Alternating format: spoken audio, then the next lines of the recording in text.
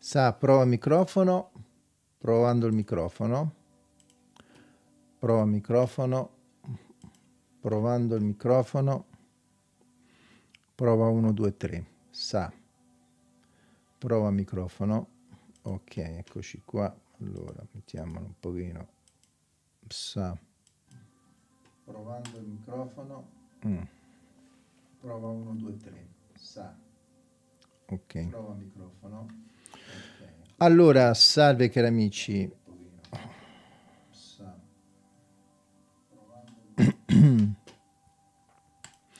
Eccoci nuovamente giunti a un ulteriore video. Chi vi parla è sempre Alessio Evangelisti, felice di tornare nuovamente con voi a un nuovo appuntamento. Benissimo, allora eh, questa mattina interrompiamo un po' tutte le serie che abbiamo in piedi.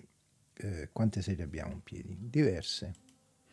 Diverse serie. Allora, mh, dobbiamo finire eh, quella dell'importanza della salvezza poi dobbiamo finire Nabal o Naval e poi dobbiamo finire Giacomo. Quindi abbiamo queste tre serie che con l'aiuto di Dio pian pianino porteremo a conclusione.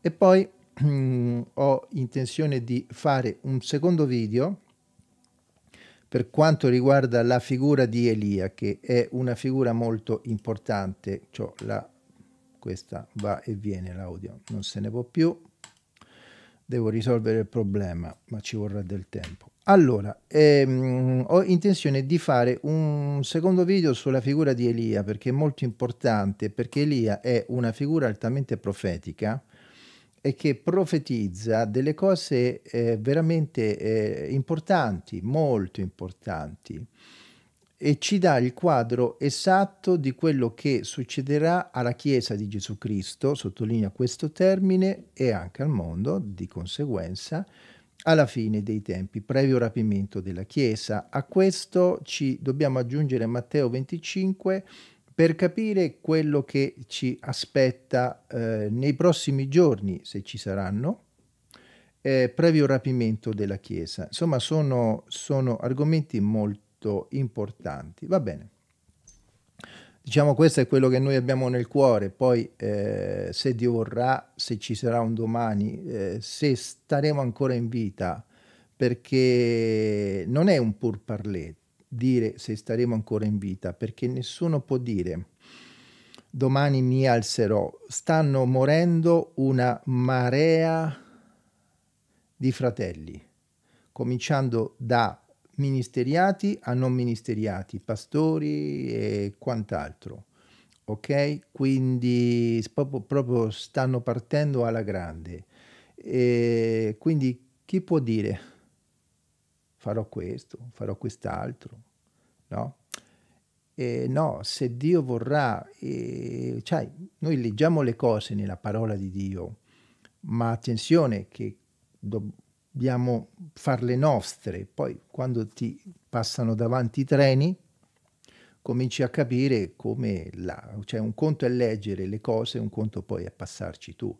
Un conto è leggere che gli apostoli e, e molti altri venivano lapidati, venivano battuti, è un conto che te lapidano a te o che te battono.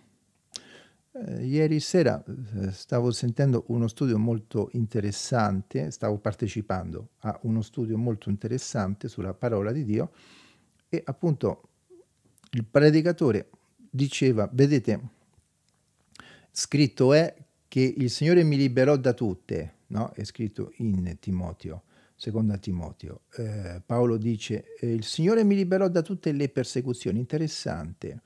Dio ci libera da tutte le persecuzioni, vero? Dice sì Alessio, è vero, amen, così è scritto. Però Paolo è stato battuto, è stato lapidato. Quindi vedete la liberazione in che consiste? Attenzione, Dio non è che eh, siccome ci libera non permette. E Paolo, eh, dopo essere stato lapidato, ha detto il Signore mi ha liberato, certo, da, dalla morte, però è stato lapidato. T'hanno mai menato per Cristo? T'hanno mai picchiato? Specialmente a una persona che non ha mai ricevuto, scusate il modo di dire, una pizza in faccia. non mi viene in altro modo. Un pugno in faccia. E raggiungi una certa età e ti danno, te danno di santa ragione, scusate la battuta di santa ragione, è scioccante, sapete? E, e, così via discorrendo. Quindi un conto è eh, leggere le cose e gloria a Dio, dobbiamo leggerle perché la fede viene dall'udire, l'udire viene dalla parola di Dio, ma poi sperimentare le cose è tutt'altra situazione. Interessante questo. Quindi tutto questo per dire, eh, chi può dire domani faremo questo, faremo quest'altro? Io non lo so, io non so manco se ci arrivo stasera. E sarà quello che Dio vorrà.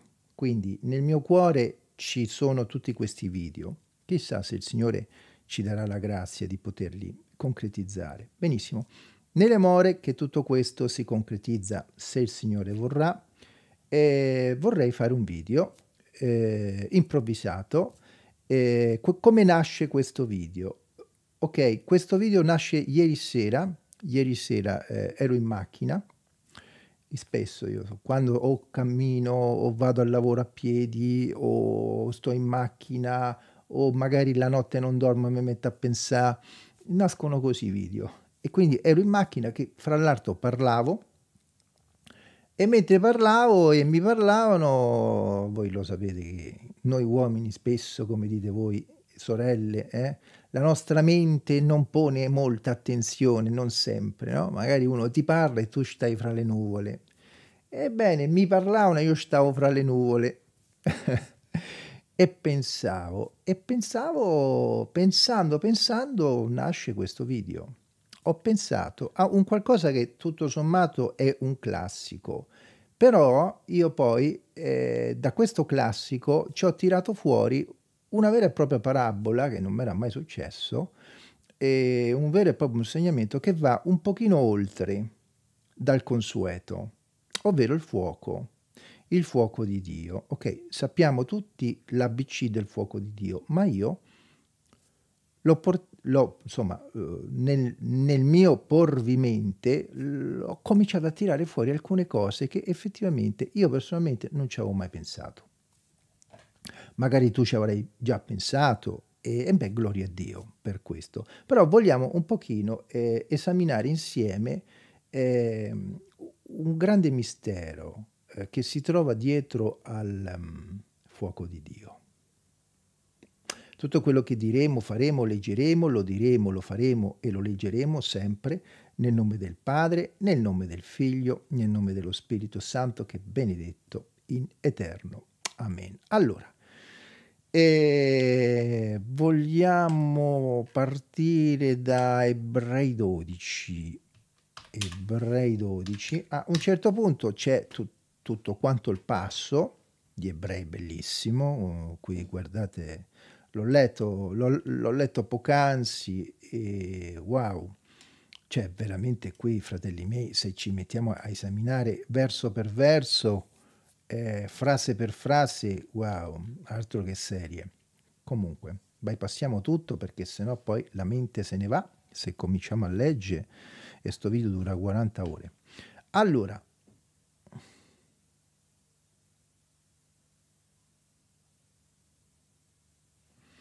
non mi ricordo dove sta però. Fuoco? Eccolo qua. Ah, pensavo che stava... Ah, eh, infatti mi ricordavo che stava alla fine. Allora, eh, qui la, mm, lo scrittore, ok, che non sappiamo chi è, comunque è lo Spirito Santo, ci eh, porta alla memoria un, eh, sa, prova, un episodio che è l'episodio del Matan Torah, eh, consegna della Torah. Matan Torah, consegna Torah, consegna della Torah. E il monte Sinai, il monte che, eh, che non, non, si poteva, eh, non si poteva prendere, non si poteva salire, non si poteva accedere, poi dirà lo scrittore, no? come, come, come è stato scosso qui il terreno, come è stata scossa la terra, così saranno scossi anche i cieli. E la storia si ripete sempre e così via discorrendo. Ora, voi non siete venuti al monte che si toccava con mano, al fuoco acceso, acceso al turbo, alla caligine, alla tempesta, no? E tutto questo ci porta un pochino alla storia di Elia. Apro parentesi, che non c'entra niente però. Se voi vi ricordate bene, Elia, quando andò dove non doveva andare, perché ebbe paura e la pagò cara, e questo ha molto a che fare la paura, quindi la mancanza di fede, il fuoco di Dio e il castigo di Dio, eh, ecco perché Dio eh, non sopporta quando i credenti, eh, se c'è una cosa che Dio odia è la mancanza di fede e la paura, Dio non piace, Dio però ha pazienza con ognuno di noi e, quindi ecco perché Gesù è stato eh, sommo esempio in questo e Gesù non ebbe mai paura, eh, Gesù non venne mai meno, ecco perché è una bestemmia vera e propria eh, dire che Gesù ebbe paura nel Getsemani, eh, perché lui, la parola fatta carne, il comandamento eh, che ci ordina di non temere, perché non dimentichiamo che il termine non temere è un comandamento. Ok? Non è che, ah, io ti... facoltativo stai meglio. No, no, no. Ora noi possiamo venir meno, noi sì. Anche l'Apostolo Paolo, ci fu un episodio a Corinto, già l'ho spiegato, dove lui temette, nonostante lui fu d'esempio il più grande apostolo, nessuno sarà mai come lui, però anche eh, loro hanno sbagliato e hanno addirittura peccato, non che sono stati dei peccatori, eh, però hanno eh, commesso dei peccati tipo Paolo si stava inorgogliendo. Pietro addirittura stava giudaizzando. Pietro addirittura il Dio gli ordina, eh, ammazza e mangia. No, no, no, no, come no? Ammazza e mangia. No, no, no, no, no. Ah, ma che fai? Dici di no al tuo Signore? E così via discorrendo.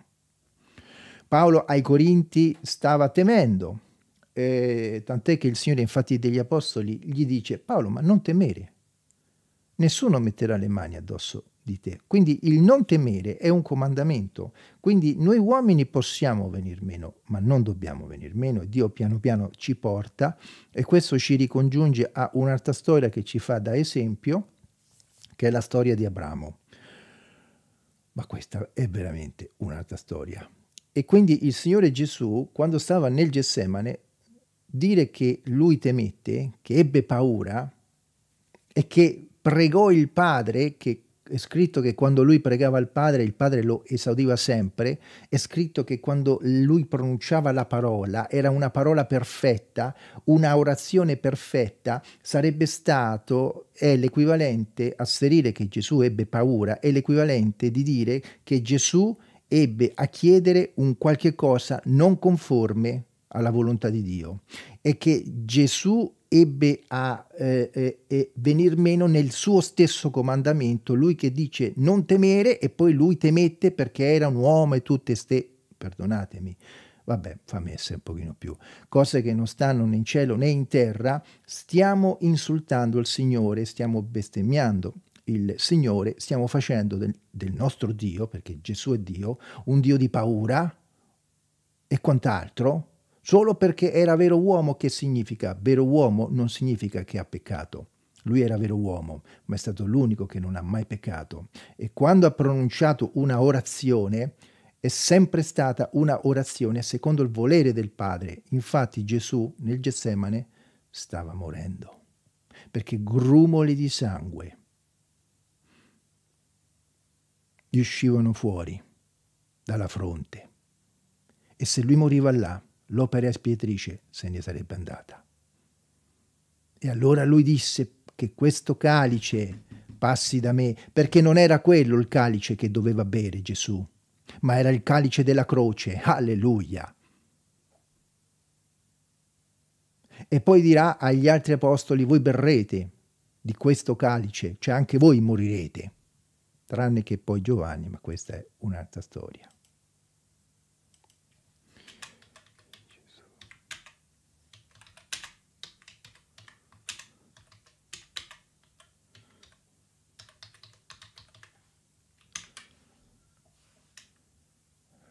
Uh, uh, uh, ok.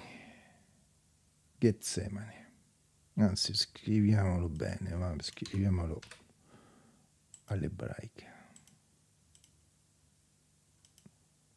Oh, mi è venuta cosa così. Sto improvvisando, eh, fratelli, amici. E così via discorrendo. Quindi tutto questo ci porta al fuoco di Dio. E Dio è fuoco ed è un fuoco consumante. Mm, vedete, sono partito da qua ok? La, quindi tornando a Elia per eh, chiudere, quando Elia, che ebbe paura, stava dove non doveva stare e attraversò il deserto e arrivò a quel luogo che prima passò, uh, non, ora non mi ricordo la scaletta esatta, quindi la dico come, come posso ricordarla. Ci fu un terremoto, ci fu una tempesta, e poi non mi ricordo che altro, e, e poi alla fine ci fu una, uh, un vento soffice.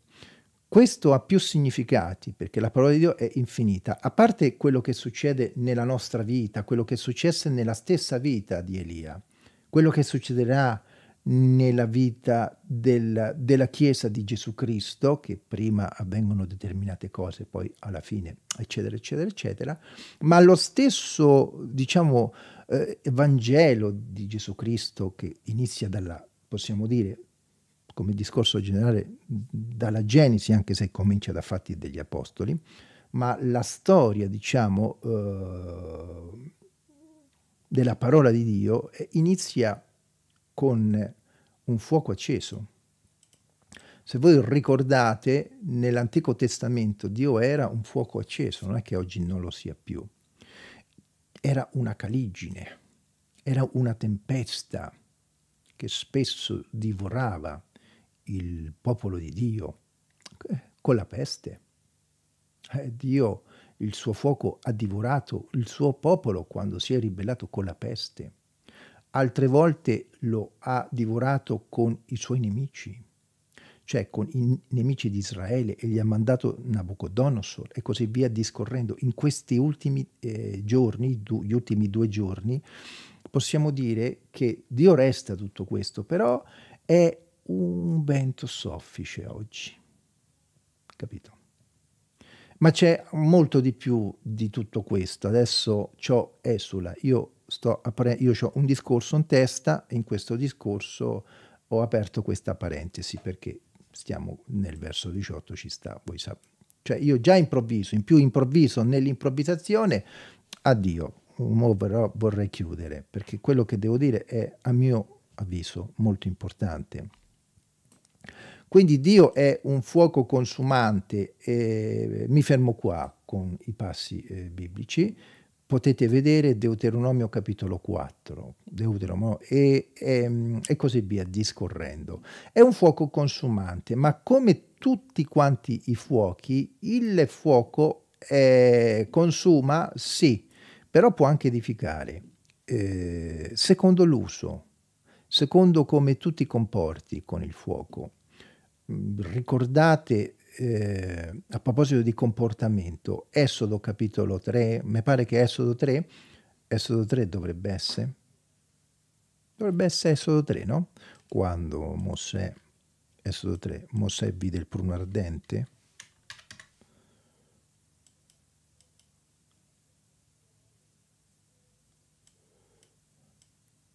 Sì fiamma di fuoco. Quindi il Signore gli apparve in una fiamma di fuoco, eh, gli apparve il Signore Gesù Cristo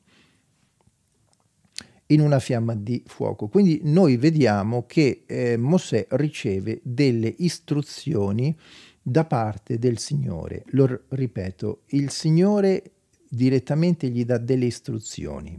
Quindi abbiamo il fuoco che è Dio, eh, perché Dio è fuoco, è anche un fuoco consumatore, e quindi Dio ti dà delle istruzioni direttamente perché eh, tu possa, eh, come dire, concretizzare il giusto comportamento, il giusto atteggiamento. mi è venuto in mente adesso di fare questo accostamento con il comportamento e con il comandamento. Non ci avevo mai pensato. Rivelazione in diretta, ogni tanto le ricevo, tutti quanti. E mm, quelli che predicano le ricevono. E, e quindi riceve delle indicazioni perché quando hai a che fare con Dio hai a che fare col fuoco e se hai a che fare col fuoco dirà appunto la, la, parola di Dio, proverbi e quant'altro, nessuno giocando col fuoco resterà appunto illeso. Quindi col fuoco non si gioca. Qualcun altro disse, 300 mm, anni fa, col fuoco di questo mondo eh, ci si può anche giocare, vedi i giocolieri, ma col fuoco del, dell'inferno non ci si può giocare. E io aggiungo, figuriamoci col fuoco di Dio. Quindi Dio è fuoco. E allora io ieri sera in macchina, ieri sera sì, in macchina stavo pensando al, a Dio, al fuoco, e mi è venuta in mente questa grande similitudine, parabola. È vera, mi è venuta, oh, ho concretizzato una parabola e ve la racconto a modo mio. Le parabole si trovano nella parola di Dio. Gesù usava le parabole perché era, non è che Gesù come uomo ha inventato le parabole, esistevano già prima che lui venisse, incarnasse l'uomo. Ovviamente lui è l'artefice di tutto come Dio, ma come uomo, quando lui è venuto qui sulla terra, già esisteva questo modo di interloquire e era comune utilizzare le parabole per illustrare delle verità. Mi è venuto in mente così, immaginati, immaginati un, un pianeta. Ok? In questo pianeta non c'è luce, è tutto buio, tutto buio, c'è l'oscurità. E in una sola parte del pianeta c'è un fuoco. Questo fuoco, eh, in qualche maniera, pur essendo tutto buio intorno, fa sì che ci possa essere vita in questo pianeta. Però intorno lontano dal fuoco c'è buio, pesto. Una persona che si trova lontana da questo fuoco, chilometri, eh, migliaia di chilometri, non vedrà mai questo fuoco. È in vita grazie a questo fuoco, ma non lo vede. E quindi ci sono molte persone che si trovano lontano da questo fuoco. Sono in vita grazie a questo fuoco, ma non lo vedono. Interessante, vero? Poi c'è un altro tipo di persona, altri tipi di persone. Sono delle persone che si avvicinano al fuoco e lo vedono e ne beneficiano, perché dicono guarda il fuoco, però sono molto lontane da questo fuoco. E allora che cosa fanno queste persone? Non sono né, a Roma si dice né carne né pesce, né si avvicinano e né si allontanano, più di tanto, stanno lì. Non, non stanno così lontane da non vederlo, ma neanche così vicine da trovarne beneficio. Ma non finisce qua. Poi ci sono altri tipi di persone che invece si avvicinano ancora di più e si avvicinano a una buona distanza. In questa di distanza, wow, vedono la luce intorno a loro. E che bello, finalmente, provano la luce di questo fuoco provano un, be un, beneficio che gli altri non provano, quelli che non lo vedono non provano, o quelli che lo vedono da lontano non provano, perché vedono tutto intorno buio e questa fiammicella, questo fuoco che lo vedono da lontano, tutto qui. Ma questi invece stanno vicino a tal punto che vedono questa luce. Però non stanno così vicino da provare il calore del fuoco. Alleluia vedono la luce, hanno la luce ma non hanno il fuoco, scusate il calore. E allora ci sono altri tipi di persone che invece no. C'è la luce, ma ci deve essere anche il calore. E allora si avvicinano, a tal punto che provano anche il calore. E quindi hanno la luce, hanno il fuoco, hanno la luce, hanno il calore. Ma c'è ancora un altro tipo di persone che non solo si avvicinano così da provare il calore e vedere la luce, ma vogliono usare questo fuoco. E lo prendono e lo usano. Ci fanno del cibo. Ci cuociono del cibo. Cucinano del cibo, mangiano di questo cibo. E così crescono. Ma poi c'è ancora un altro tipo di persone. Coloro che fanno tutto questo, ma poi tentano il fuoco e ci mettono la mano dentro. Perché sono stolti e si bruciano la mano. E infine l'ultima categoria, i peggio dei peggio, sono quelli che fanno tutte queste cose, ma non si limitano a mettere la mano dentro, ma loro stessi vanno dentro a questo fuoco e vengono consumati dal fuoco, bruciati dal fuoco, uccisi dal fuoco.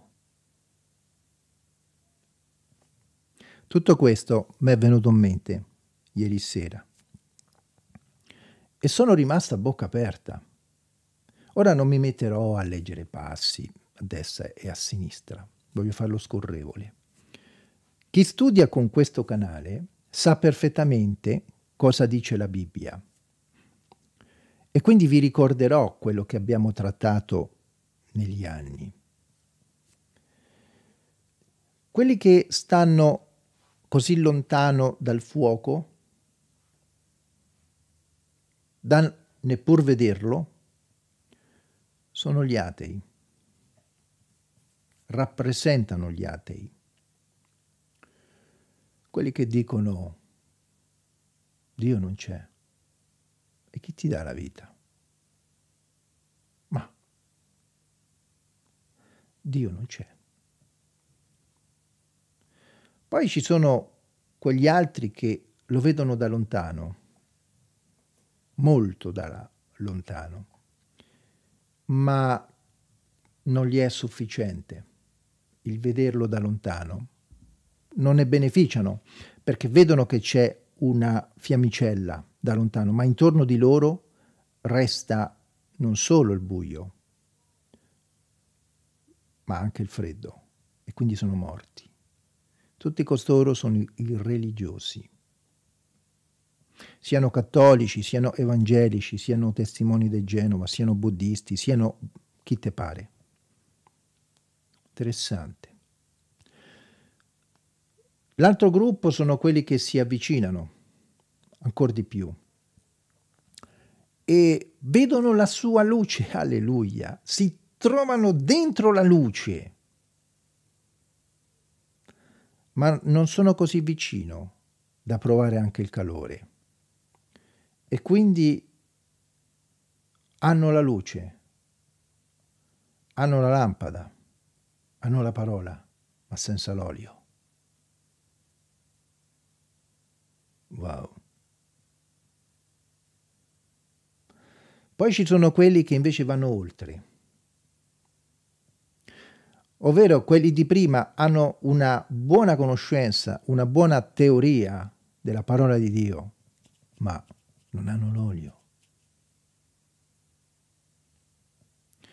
Quelli invece che si avvicinano e provano, trovano sia la luce, vedono la luce e provano anche il calore. Sono coloro che hanno la luce, la lampada, ma anche l'olio dentro la lampada, anche lo Spirito Santo, anche il battesimo dello Spirito Santo, come alcuni che vanno insegnando che loro avrebbero lo Spirito Santo, il battesimo, e non parlano lingue. Solo perché fanno dei frutti, la gente sta bene, si converte o fanno del bene agli altri, ma in Matteo capitolo 7 è scritto che questi uomini predicavano, facevano miracoli, facevano del bene, eppur non avevano Dio, non avevano lo Spirito Santo. Quanta gente fa del bene in mezzo anche lo stesso cattolicesimo, che è una religione non da Dio. Sì, fanno del bene, sistemano anche famiglie materialmente parlando, ma non hanno la verità. Ma state alla larga da costoro. E poi purtroppo si inizia a entrare in un altro mondo. Sono coloro che dopo, alcuni neanche quello, però diversi, dopo aver gustato le cose di Dio, il fuoco di Dio, la luce di Dio, il calore di Dio, lo Spirito Santo, giocano col fuoco e ci mettono la mano dentro.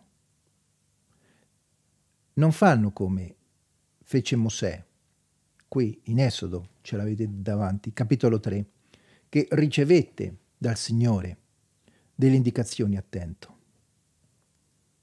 Attento a come ti avvicini a me. Levati le scarpe.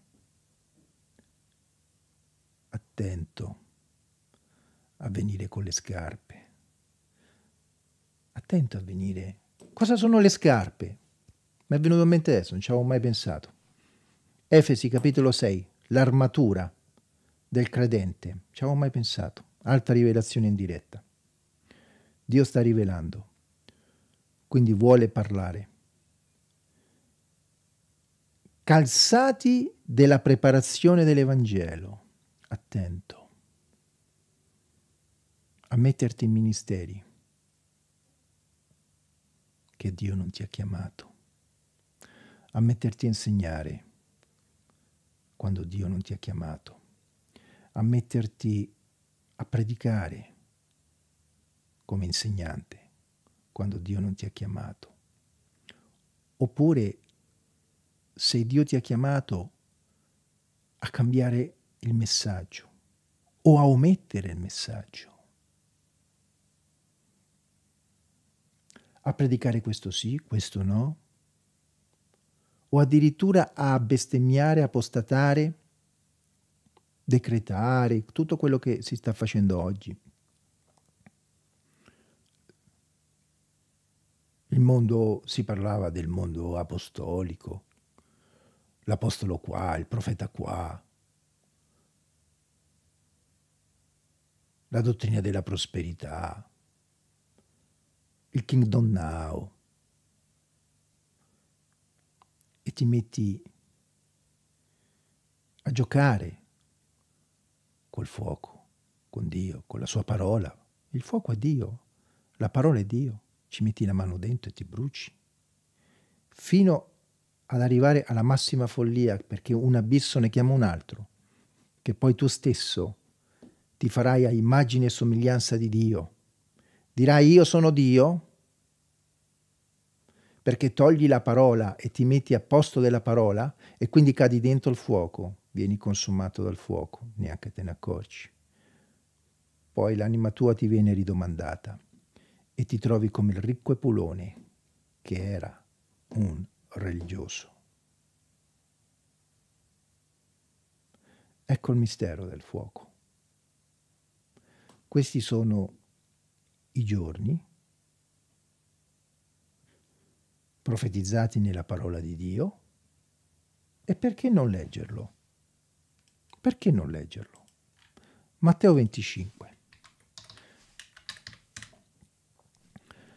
Questo lo dedico a tutti coloro che stanno aspettando un risveglio a livello mondiale. Io insegno. Smettete di aspettare un risveglio a livello mondiale, non ci sarà, secondo me. Piuttosto il risveglio ci deve essere a livello personale, questo sì, ma non deve venire da Dio. Oh, bestemmia! No, fammi finire. Il risveglio da parte di Dio viene per i miscredenti. che li va e li va a cercare e li va a, a svegliare. Ma quando uno è nato di nuovo, Ebrei 6, ha gustato le potenze, le potenze del regno a venire, lo Spirito Santo e quant'altro, se si è addormentato, la parola dice, risvegliati tu che dormi, tu ti devi risvegliare, tu. E poi che significa essere sveglio? C'è tanta gente, io torno a ripeterlo, ma lo dico con massimo rispetto, mi viene da sorridere perché sono svegli e dicono Signore svegliami, ma preghi, sei un santo uomo di Dio, fai la volontà di Dio, ti, ti, ti, ti santifichi più, più, per, più sveglio di te, non dire, casomai dimmi, dacci di più, vogliamo di più, amen, questo sempre ma non dire che stai dormendo. ma se c'è qualcuno che sta dormendo, risvegliati tu. E a proposito del risveglio a livello mondiale, la scrittura non dice questo, secondo me. Spero di sbagliarmi. Il regno di, dei cieli sarà simile a dieci vergini, le quali presero le loro lampade, avevano tutte le lampade, uscirono fuori all'incontro allo sposo, tutti aspettavano il rapimento della Chiesa. E cinque di queste erano avvedute, cinque erano pazze. Le pazze presero le loro lampade. Quindi tutte avevano le lampade, ma queste erano senza olio. E le avvedute avevano preso l'olio e insieme le loro lampade, eh, le lampade preso secco dell'olio, queste avevano l'olio. Tardando lo sposo, tutte si addormentarono. Alla fine dei tempi la chiesa si addormenterà tutta. Ora sulla mezzanotte si fece un grido e disse ecco lo sposo, come dire ecco il rapimento della chiesa, ecco i segni del mondo, ecco quello che sta succedendo, state vedendo? Non entro nello specifico per motivi di tempo. Allora tutte si destarono, si acconciarono e le pazze dissero alle avvedute dateci dell'olio e le abbedute le risposero non lo faremo, che talora non bene sia assai per noi e per voi. Andate piuttosto a coloro che lo vendono e compratene. Quando è scritto che le avvedute pressero dell'olio con le loro lampade, poi è scritto che arrivò la mezzanotte e quindi finché non arrivò la mezzanotte loro camparono con quell'olio. Quando arrivò la mezzanotte l'olio si consuma, era rimasto, non era completamente piena, quindi altro che il risveglio. E poi quando loro gli chiesero dateci un po' di olio, eh, ma se vediamo quello che ci è rimasto, non basterà né per noi né per voi, andate! e comprate a quelli che lo vendono, ovviamente, al di là delle mille interpretazioni, venite e comprate gratuitamente, senza pagare, senza danari, lo disse il Signore in Isaia. Lo Spirito Santo è colui che dà dell'olio. Come si compra questo olio? Con la fede. La fede è, tra le mille cose, Credere in Dio, credere e fare la sua volontà è santificazione e pace, senza la quale nessuno vedrà il Signore. Ebrei 12.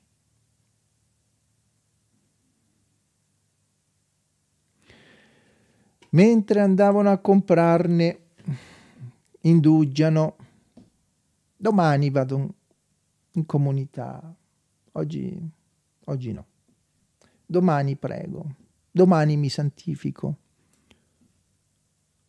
domani faccio la volontà di Dio, domani crederò, domani accetto Gesù, domani mi battezzo nell'acqua. Domani, domani, domani, domani significa mai.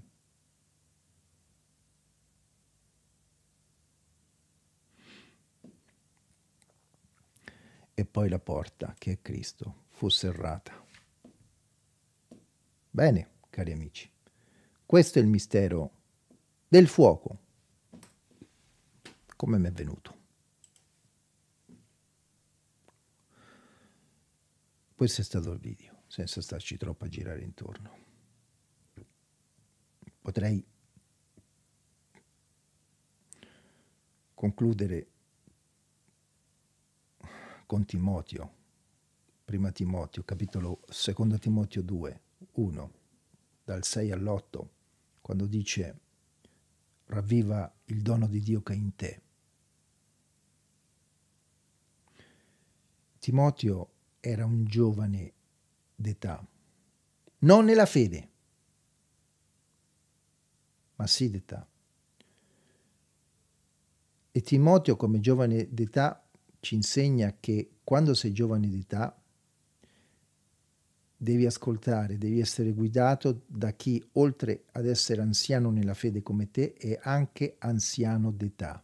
Ecco perché lo Spirito Santo mise a Timoteo un anziano d'età, oltre che nella fede, Paolo, che lo guidava, lo consigliava e non gli faceva fare le capriole, come molti giovani d'età, e poi non parliamo della fede, si mettono a fare oggi nel web e altrove, e addirittura alcuni perché mal ammaestrati gli viene insegnato da altri apostati che sana dottrina lasciamo perdere, che con due o tre annetti o di scuola biblica o di non so che cosa diventi pastore. Attenzione a giocare col fuoco, pastore non si diventa con due o tre annetti. Ok? Ci vogliono tantissimi anni prima di entrare nel ministero. Prima, se Dio ti guida a portare qualche passo, qualche cosa sotto la supervisione degli anziani, consigli, riprensioni, e noi stessi, anziani d'età e quant'altro, a sua volta ci correggiamo gli uni gli altri perché io vengo corretto Attenzione a giocare col fuoco, perché Matteo 25 è dietro l'angolo, la tromba suona, attenzione a giocare col fuoco. Non è. Adesso mi metto con la Bibbia a mano, da da da da. Non è così che funziona limitati a fare quello che lo Spirito Santo ti dice di fare e attieniti al corpo di Cristo, costituito dallo stesso Spirito Santo, apostoli, cioè missionari, dottori, pastori, evangelisti, profeti per il perfezionamento della Chiesa. Ma quelli sono tutti apostati! Benissimo. Quando trovi una apostata, vattene, finché non trovi quello giusto. O forse la parola di Dio mente. Ha fallito la parola di Dio? Non c'è più la Chiesa di Gesù Cristo? Non ci sono più ministeriati? Attenzione, dice il Signore nella sua parola. Messaggio duro, come deve essere la parola di Dio. Con voi, come sempre, è stato Alessio Evangelisti. Grazie per essere stati con noi. Io lo rendo pubblico, eh, pubblico. Se il Signore vorrà, ci si vedrà al prossimo videoprogramma. E non t'offenni, che Gesù ti ama. Ti saluto. Dio ti benedica. Maranatha. Shalom.